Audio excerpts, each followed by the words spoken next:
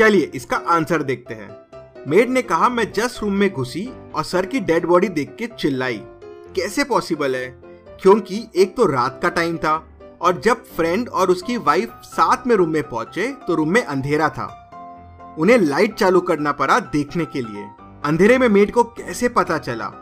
मतलब वो झूठ बोल रही है। चलिए, अब अगली चलिए इसका आंसर देखते हैं। सबसे पहले टैंक ए भरना शुरू हो जाएगा।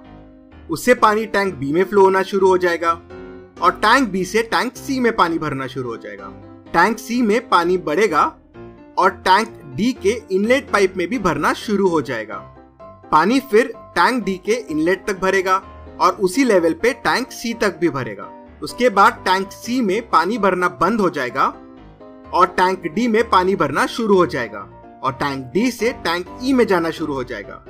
थोड़ी देर में टैंक ई में पानी बढ़ना शुरू हो जाएगा और फिर टैंक एफ़ में भी बढ़ेगा। और फाइनली टैंक ई पूरा पानी से भर जाएगा। तो सबसे पहले टैंक ई भरेगा। क्या आप इसको सही से सॉल्व कर पाए? हमें ज़रूर बताएँ।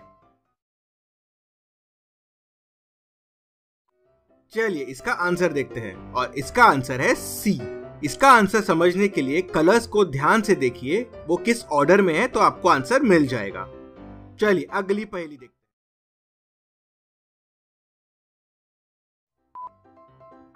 चलिए, इसका आंसर देखते हैं। अगर आप ध्यान से देखेंगे तो इसमें दो सेवन है। चलिए, अगली पहली देखते हैं। अब इस चलिए, इसका आंसर देखते हैं। इस क्लॉक में 4:30 हो रहे हैं। 4:30 के टाइम पे छोटा काटा चार और पाँच के बीच में होना चाहिए, लेकिन वो चार पे है और यही इस क्लॉक में गलत है।